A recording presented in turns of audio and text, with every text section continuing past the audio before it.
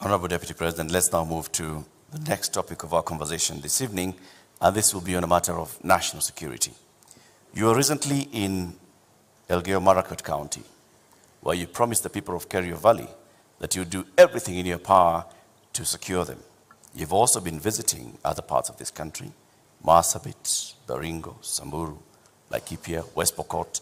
More than 300 people have died in the last seven months alone in this country, killed by armed bandits. Livelihoods are lost. Children have not gone to school. Children have been killed. Kerio Valley re residents have even petitioned the UN Secretary General, saying that their government has failed to provide them with security. In your manifesto, you say that security is a cornerstone of protecting people's livelihoods.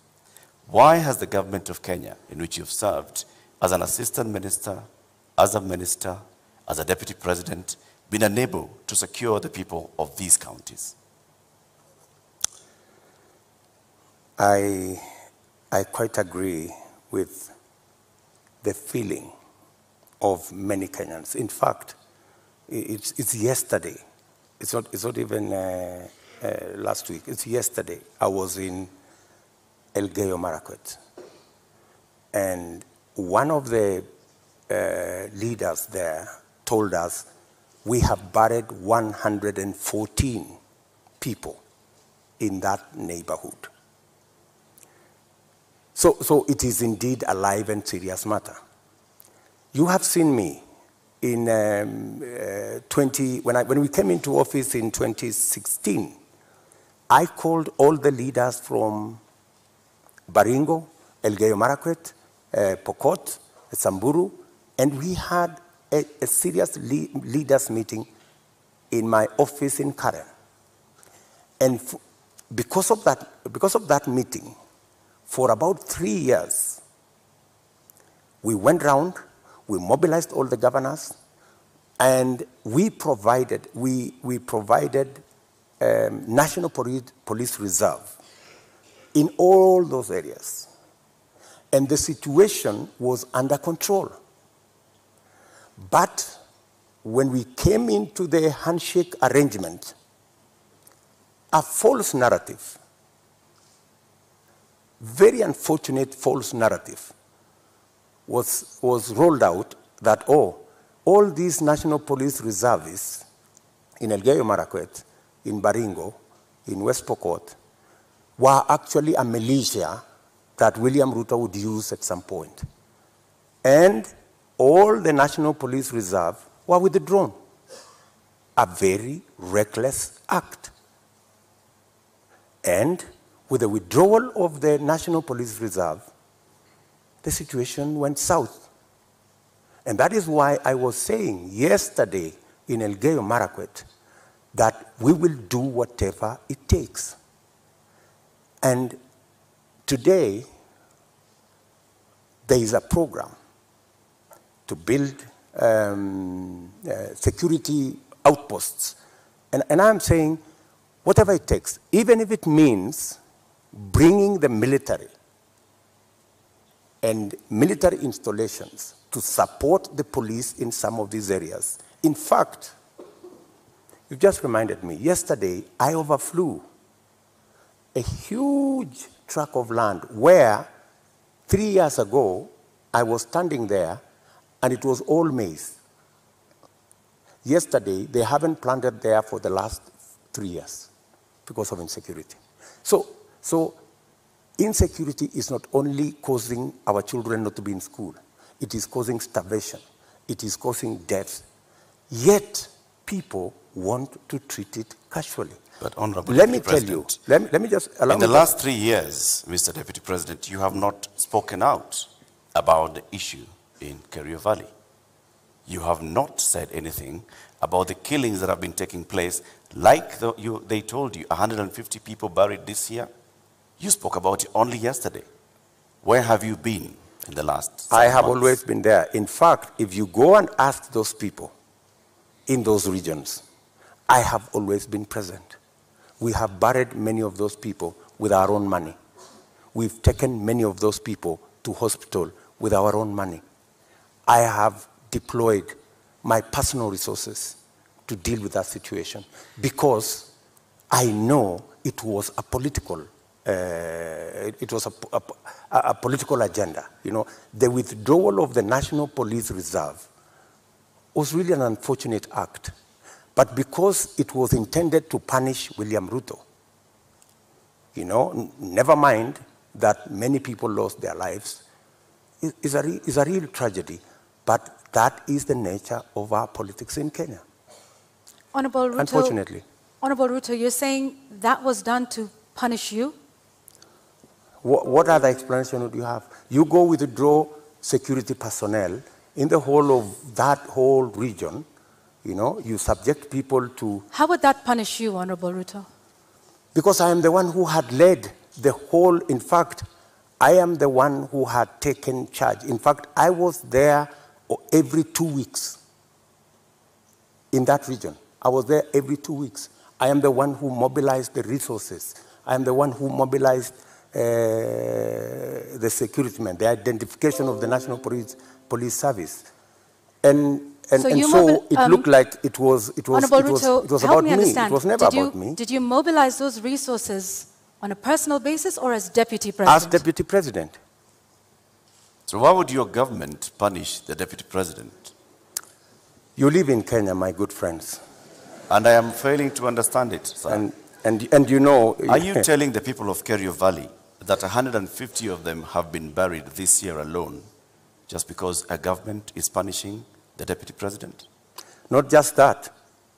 The Kimwarer and the Aror dams were cancelled intentionally to punish my supporters. That's it. We will come to that, sir. You, as the deputy president, consume intelligence reports. Tell us, over the last 30 years, what is it that has led to this continuous cycle of violence in Kerio Valley, in Baringo, in Samburu, in West Pokot, even going as far as Marsabit County?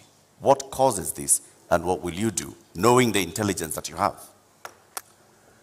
The biggest contributor to the situation we have in those regions is competition for resources, competition for water, competition for pasture, general uh, matters of uh, um, education, and precisely the reason why we had a plan on Radat Dam to provide the water for the whole of that belt. Aror, Kimwarer, Rada, uh, Lowat. These are dams that my thinking was if we provide water in these areas, we can sufficiently roll out irrigation. For your information, that whole Kerio belt where people are fighting, it is a granary. We have the best mangoes from, from that region. We have uh, very good uh, soya that can be grown in that region. The only impediment is water, access to water. And there are enough rivers to be tapped. My solution to the whole of that region is twofold. Let us provide water for livestock, let us provide water for irrigation, and let us get schools developed, as well as making sure that we provide road infrastructure. That's why we rolled out the road from Barpello, cutting across that region, to come out on the other side in a place called Marich Pass, through Tot, through Jesongoch, and now there was also the road that was supposed to connect Kapedo from uh, the other side of Turkana coming to Nakuru. Opening up that area is the solution. Opening up that area in terms of infrastructure and opening up that area in terms of water infrastructure will provide the solution. Unfortunately, there are people who don't see it that way. So you say that the Aror Kimwarer Dam, you recently said that you are going to complete it should you Yes. be elected president. Yes, Why did it fail? I will. Yes, I will. It didn't fail. It was meant to fail. I, I mean, let me, Mr. let me tell you, the- the- so it's- it as is- the Deputy President, uh, sorry, sir, to just interject. As a Deputy President, and like I started by saying, you've been minister before, you've been an assistant minister. We are talking about violence that has been taking place for decades, not just in the term that you've been Deputy President. So eh, this is not about you being punished now, unless you're telling us that for a long time, there are people that have been scheming to punish William Ruto by killing the people of Kerio Valley. That's not what I'm saying. I am saying we had a solution. We had close to 5,000 National Police Reserve. In fact, we have, um, we, we'd even moved a step forward to provide armored vehicles to make sure that we can follow whoever these uh, criminals are, right? We had a plan. Unfortunately, that plan was frustrated. And you know, the plan was let's provide a national police reserve. Then let us construct the roads. Then let's provide water infrastructure. And then let's provide school infrastructure. That way, you ease out people from that situation where they are today to a new environment where they appreciate education, they have food to eat, their animals have, uh, have, uh, have, have water and pasture, and then you can develop that region. In fact, in my mind, that's where the future of Kenya is, because we have huge tracts of land in, in that region. and the Honorable fact that people have been fighting in that region forever doesn't mean that they should continue fighting. Honorable we should Ruto. find a solution.